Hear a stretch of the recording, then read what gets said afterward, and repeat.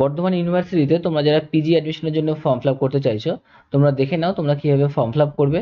এর জন্য তোমরা বর্ধমান ইউনিভার্সিটির ওয়েবসাইট চলে যাবে BUR UNIV dot AC dot in ওয়েবসাইটে যাওয়ার পর তোমরা important instruction for PG admission তোমরা এখানে ক্লিক করবে। ক্লিক করার পর তোমরা এখান থেকে নোটিফিকেশনটাকে স্ক্রোল করবে স্ক্রোল করলে তোমরা এখান থেকে দেখতে পাচ্ছ যে তোমাদের প্রথমেই রয়েছে তোমাদের অ্যান্টি র্যাগিংয়ের ফর্মটা তোমাদের অ্যান্টি র্যাগিংয়ের ফর্মটা কিন্তু ফিল করতে হবে, নাহলে তোমরা কিন্তু ফর্ম ফিল করতে পারছ না। আর এরপর তোমরা এখানে যে লিঙ্কটা রয়েছে অ্যাডমিশন লিঙ্ক এই লিঙ্কে গিয়ে তোমাদের কিন্তু ফর্ম ফিল করতে হবে। তোমরা এই লিঙ্কে ক্লিক করবে, তারপর তোমরা ফর্ম ফিল করতে পারছ। এরপর তোমাদের এরকম পোর্টাল ওপেন হবে, তোমরা এখান থেকে ক্লোজ করে দেবে। ক্লোজ করার পর তোমাদের এখানে অপশান আসবে। অপশান আসলে তোমাদের এখানে দেখবে, তোমাদের ব্যাচেলার ডিগ্রি তোমরা কোথা থেকে কমপ্লিট করেছ। যদি বর্ধমান ইউনিভার্সিটি থেকে করে থাকো, তাহলে তোমরা ইয়েস করবে, নাহলে নো করবে। ইয়েস করলে তোমাদের রোল নাম্বারটা দিতে হবে একটু তোমরা করেছ বা কোন কোর্সে তোমরা করেছ, সেটা তোমরা এখান থেকে সিলেকশন করবে। যদি বিএ হয়, তাহলে বিএ করবে বিকম হলে বিকম করবে বিএসসি হলে তোমরা বিএসসি অপশান সিলেকশন করবে। আর তোমাদের এখানে তোমরা যে নামটা দেবে, তোমাদের কিন্তু সব মাধ্যমিকের সার্টিফিকেটে তোমাদের মাধ্যমিকের অ্যাডমিট কার্ডে যে নাম দেওয়া রয়েছে, তোমরা কিন্তু সেই নামগুলো তোমরা এখানে দেবে। তোমাদের যদি ডকুমেন্টে অন্য কোথাও ভুল থাকেও, তোমরা কিন্তু মাধ্যমিকের সার্টিফিকেটে তোমাদের যা নাম রয়েছে সেম নাম দিয়ে তোমরা ফর্ম ফিল আপ করবে। তোমরা এখানে তোমাদের নাম দিয়ে দেবে, তারপর তোমরা এখান থেকে তোমার ডেট অফ বার্থটা সিলেকশন করবে, তোমাদের ইমেল আইডি দিয়ে দেবে কনফার্ম ইমেল আইডি তোমরা আবার দেবে মোবাইল নাম্বার দেবে মোবাইল নাম্বার আবার দেবে, তারপর তোমরা কান্ট্রিটা চুজ করবে। এরপর তোমরা নিচের দিকে স্ক্রল করলে তোমরা আই এগ্রি অপশানে সিলেকশন করে তোমরা এখানে ক্যাপস কোডটা দিয়ে স্টেপ ওয়ান তোমরা অপশান সিলেকশন করবে ওকে তারপর তোমাদের এরকম অপশান আসবে, তোমরা এখান থেকে ক্লিক হেয়ার যে অপশানটা আছে, তোমরা ক্লিক হেয়ার এখানে তোমরা ক্লিক হেয়ার করবে।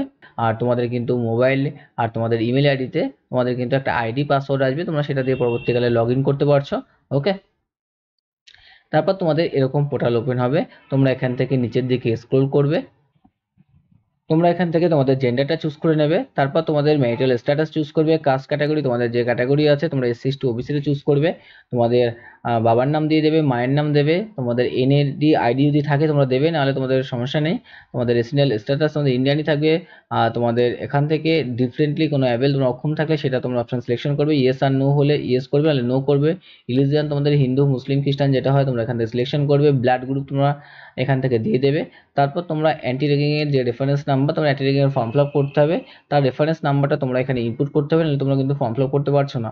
ওকে এরপর তোমরা নেক্সট পেজে চলে যাবে। নেক্সট পেজে গিয়ে তোমাদের কিন্তু ডকুমেন্ট আপলোড করতে হবে, যেটা তোমাদের ফটো সিগনেচার আর তোমাদের মাধ্যমিকের অ্যাডমিট কার্ড অথবা তোমাদের পাস সার্টিফিকেট তোমাদের আপলোড করতে হচ্ছে। ওকে এরপর তোমরা এখানে তোমাদের মোবাইল নাম্বার দেবে, তোমাদের হোয়াটসঅ্যাপ মোবাইল নাম্বার দিয়ে দেবে, তোমাদের পারমানেন্ট অ্যাড্রেস ডিটেল তোমাদের দিতে হবে। তোমাদের ভিলেজ, তোমাদের পোস্ট, ডিস্ট্রিক্ট তোমাদের পিনকোড কান্ট্রি সব এখান থেকে তোমরা সিলেকশন করবে। যেমন এখান থেকে সিলেকশন করে ইন্ডিয়া তোমাদের চলে আসবে। আর তোমরা যদি এখান থেকে স্টেট চুজ করো ওয়েস্ট বেঙ্গল অপশান চলে আসবে। ডিস্ট্রিক্ট তোমরা নর্থ চব্বিশ পরগনা থাকে হলে নর্থ চব্বিশ পরগনা অপশান চলে আসবে। এখানে ভিলেজটা তোমরা এখানে লিখে দেবে, তোমাদের যে ভিলেজটা হয়। তারপর তোমাদের পিনকোডটা তোমরা এখানে দিয়ে দেবে। সেম যদি হয়, তোমরা এখানে ইএস অপশান সিলেকশন করবে ওকে তারপর তোমার এখানে ইনকামিং ইয়ার ফ্যামিলি যে ইনকাম ইয়ারটা আছে, সেটা কত আছে পার ইয়ার তোমরা বিলো যদি ওয়ান লাখ হয়, তাহলে ওয়ান লাখ দেবে। তার যদি বেশি হয়, তোমরা তার বেশি এখানে অপশান সিলেকশন করবে। ওকে তারপর তোমরা এখানে আর সেভ অ্যাজ ড্রাফট হিসেবে তোমরা সেভ করে রাখতে পারো। আবার তোমরা নেক্সট অপশান তোমরা সিলেকশন করতে পারছ। ওকে এরপর তোমরা এখান থেকে মাধ্যমিকের বোর্ডটা সিলেকশন করবে। ওয়েস্ট বেঙ্গল বোর্ড থেকে পাস করলে ওয়েস্ট বেঙ্গল বোর্ড তোমরা সিলেকশন করবে। সিলেকশন করার পর তোমাদের ইউনিভার্সিটিটা কোন স্টেটের মধ্যে অবস্থিত, তোমাদের ওয়েস্ট বেঙ্গল হলে ওয়েস্ট বেঙ্গল চুজ করবে রোল নাম্বার তোমরা এখানে দিয়ে দেবে, তোমাদের রেজিস্ট্রেশন নাম্বার দেবে রেজিস্ট্রেশন ইয়ারটা দিতে হবে ইয়ার অফ পাসিংটা তোমরা কত সালে পাস করেছ, আঠেরো হলে আঠেরো সালে দিয়ে দেবে, বা সতেরো সালে সতেরো সাল দিয়ে দেবে পার্সেন্টেজ অফ মার্ক তোমাদের এইট্টি পার্সেন্ট হলে এইট্টি পার্সেন্ট তোমরা এখানে দিয়ে দেবে। এরপর তোমাদের রেজাল্ট কিন্তু এখানে তোমাদের আপলোড করতে হচ্ছে।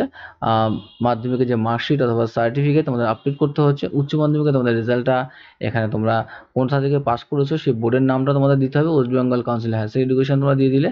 আর আদার্স বোর্ড থাকলে তোমরা আদার্স বোর্ড অপশন সিলেকশন করবে। এরপর তোমরা এখান থেকে তোমাদের ওয়েস্ট বেঙ্গল থেকে তোমরা পাস করেছ কিনা সেটা তোমাদের দিতে হচ্ছে। রোল নাম্বার তোমাদের এখানে দিতে হবে। রেজিস্ট্রেশন নাম্বার রেজিস্ট্রেশন ইয়ার তোমাদের ইয়ার অফ পাসিং তোমাদের স্ট্রিমটা সায়েন্স আর্টস না কমার্স কোনটা ছিল? আর্টস থাকলে আর্টস দিয়ে দেবে। পার্সেন্টেজ অফ মার্ক তোমাদের যদি এইট্টি পার্সেন্ট হয় এইট্টি পার্সেন্ট দিয়ে দেবে। তোমাদের রেজাল্টটা আপলোড করতে হচ্ছে এখানে। তোমাদের ব্যাচেলার ডিগ্রি ডিটেলসটা তোমরা প্রথমে বিএ সেকশন করেছিলে বলে বিএ অপশন তোমাদের চলে আসবে। তারপর তোমরা অনার্স সাবজেক্টটার নাম তোমাদের এখানে দিতে হবে। যদি বেঙ্গলি হয়, তোমরা বেঙ্গলি তোমরা দিয়ে দেবে। আর তোমাদের university institution name bachelor qualified degree program name তোমরা এখান থেকে সেই ইউনিভার্সিটির নামটা তোমরা চুজ করবে। কোন university West Bengal state university থেকে পাস করে থাকো। ওয়েস্ট বেঙ্গল স্টেট ইউনিভার্সিটি লিখে দেবে তোমরা। এরপর তোমরা এখান থেকে তোমাদের ইউনিভার্সিটিটা চুজ করে নেবে। কোন স্টেটে তোমাদের অবস্থিত ইউনিভার্সিটিটা ওয়েস্ট বেঙ্গল হলে ওয়েস্ট বেঙ্গল অপশন থাকবে। সেটা তোমরা চুজ করে নেবে। রোল নাম্বার দিয়ে দেবে, তোমাদের রেজিস্ট্রেশন নাম্বার দেবে। রেজিস্ট্রেশন ইয়ার দেবে ইয়ার অফ পাসিং তোমরা এখান থেকে চুজ করবে। তারপর পার্সেন্টেজ অফ অনার্স মার্ক অনার্সে কত পার্সেন্ট মার্ক আছে? তোমাদের সেই মার্কটা কিন্তু তোমাদের এখানে দিতে হবে। ওকে আর তোমাদের রেজাল্টটা এখানে আপলোড করতে হচ্ছে। এরপর তোমরা নেক্সট অপশন সিলেকশন করে তোমাদের ফর্ম ফিল তোমরা কমপ্লিট করতে পারছ।